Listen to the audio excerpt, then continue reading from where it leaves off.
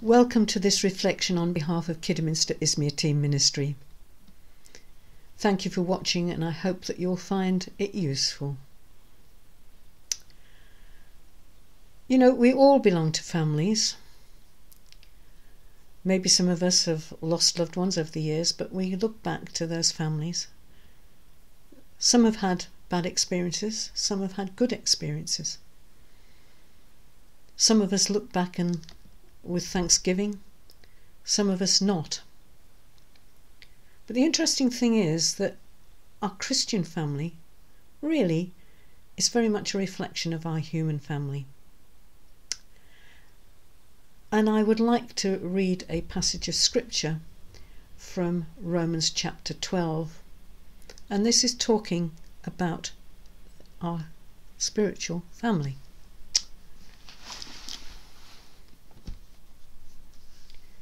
And I'm starting at verse 9. Don't just pretend that you love others, really love them. Hate what is wrong Stand up for what is good. Love each other with genuine affection and take delight in honouring each other. Never be lazy at your work, but serve the Lord with enthusiasm. Be glad for what God is planning for you. Be patient in trouble and always be prayerful. When God's children are in need, be the one to help them out. And get into the habit of inviting guests home for dinner or if they need lodging for the night.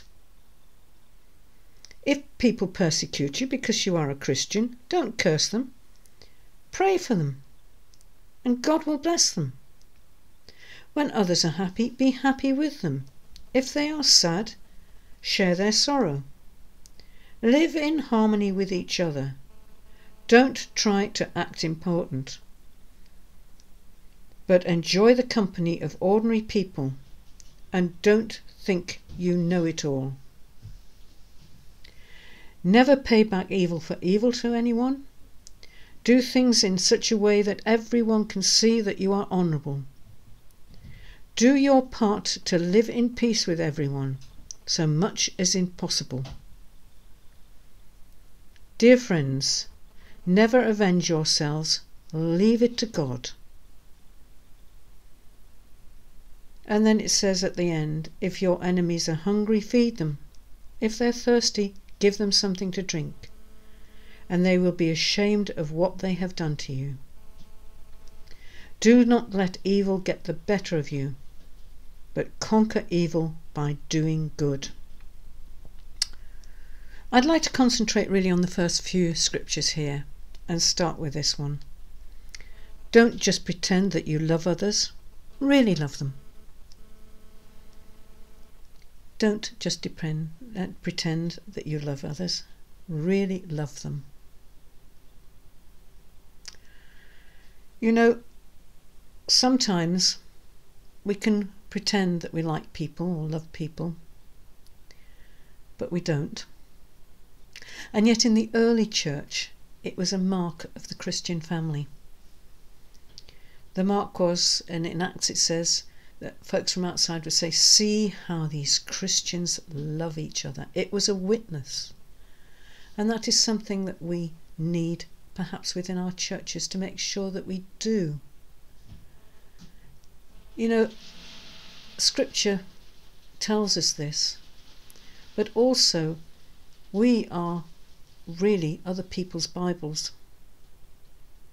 It's no good saying that we go to church and we do things uh, and we are being good when people can see that we're not. They measure what they see in us. And it's lovely if people can say, see how these Christians love each other. Love each other with genuine affection and take delight in honouring each other. you know, it's so easy at times to be, well, I wouldn't say spiteful, but there are times when, you know, if somebody steps on our toes and tries to come where we and do things where we've done things for years, that the hackles can go up. And yet, that is one way of stifling gifts and talents within the church. In our own families, it's a natural thing to encourage young people to do things. We train our children to cook and to do the washing and to sort things out so that when they become fully grown, they know how to deal with life. And we should be doing that within our churches, nurturing young Christians and bringing them on and recognizing talents, loving them, and really rejoicing not thinking that they're a threat to us, but praising God that we've had the chance to bring people on and be thankful. And if we look a bit further on, it says, Never be lazy in your work, but serve the Lord with enthusiasm. Times it can be awkward. At times it can be tiring. At times we think, well, you know, I've done this for so many years. I'm fed up. I just want out. And I myself feel like that at times. You think, oh, not me again. Isn't there anybody else that would do this? But if we realise who our boss actually is, then perhaps we can have renewed enthusiasm we can lose our first love. And I use this example, and many of you may have heard me use it. Those of you that have married can think back to when you first met your partner and the butterflies and the way you saw them. You couldn't wait to be with them. And that's the way some of us were when we first met Jesus. We couldn't wait to tell people that we knew him, that we'd become a Christian. And yet, over the years, that enthusiasm has, has just died and things become chores. And perhaps we need to get that enthusiasm back. And helping other people and seeing new people and their energy and enthusiasm can inspire us on. And being glad, it says, for what God is planning for you. God has a plan for our lives. We're not just here by chance. He has put us here to do a job. And we need to be thankful. It is partly to build up his family and to bring new members into it. And be patient and always be prayerful. With all families, there are members of all ages. It may be that, you know, within your family, that you have got grandchildren and babies. And we need to be tolerant right across from perhaps the older person that is now suffering with dementia. We would in our own family. To the grandchildren who, why is it that grandparents sometimes find their grandchildren an absolute delight and can't wait to be with them? But coming to church, they're intolerant of young families coming in, and I can't understand it. These children are part of God's family and we need to encourage and welcome them. Genuinely, as the first line of this passage says. When God's children are in need, help them. And that means materially as well as spiritually. If we are seeing people within our church that are struggling financially, who can't put food on the tables and things, and a lot of people are already doing this. In one of my churches that has now grown to quite a large measure from what it started with a congregation of 20 and was at death's door and now has a congregation of well over 500. But one of the things we did to start was start to invite new people as they came in to come perhaps and have a cup of coffee or lunch and if you can't invite people because of whatever it means, um, financially or whatever, a cup of coffee is always a good way. You get to know people and to chat with people. It's the sort of thing that you would do in your own family. And if people within the church are struggling, we need to help them.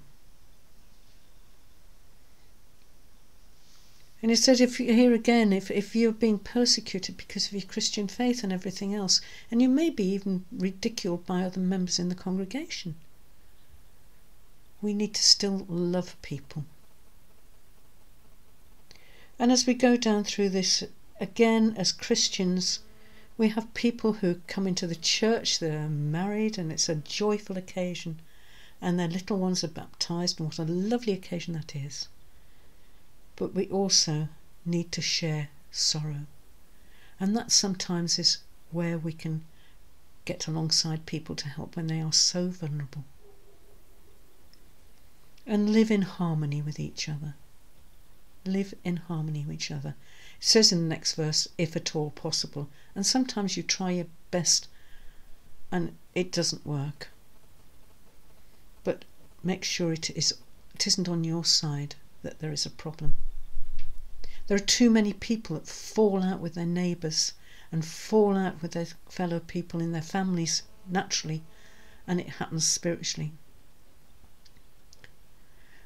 In Ephesians 4, it tells us not to let the sun go down on our wrath, that we need to sort things out. And yes, there'll be squabbles within churches, the same as within families. But we need to get it sorted quickly because the longer it goes on, the more it festers, the more there is bitterness, and it becomes much harder to be reconciled. And Scripture tells us categorically that if we have something against our neighbour or our fellow Christian, we need to sort it before we come to the Lord's table. And finally, I like this one. Don't act important, but enjoy the company of ordinary people and don't think you know it all. Bear in mind that this was written to the Roman Church, and the Romans thought they were a superior nation at the time because they were conquering people and there was an empire. So we need to get it into context. But there is a lesson there for us. We can always learn something from the smallest child to the oldest person. I always remember in one of the churches that I went to, standing at the back of the church, and a young lad that was in my Sunday school at the time came up and asked for an order of service from the church warden. The church warden turned around and said, Oh, these are for just the members of the church. And he turned around and said, Well, I'm a member of the church. And he was absolutely right. People say, oh, children are the church of tomorrow. Wrong. They are the church of today, and we need to remember that. They are part of God's family, and Jesus made it very plain that we need to include them. He was very, very strong in his language of what happens if we don't. But don't be spiteful with people, it says in the last bit of this.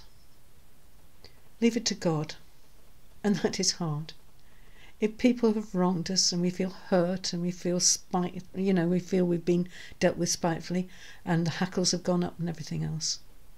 It is so hard. But, you know, there is a scripture that says that God is no man's debtor.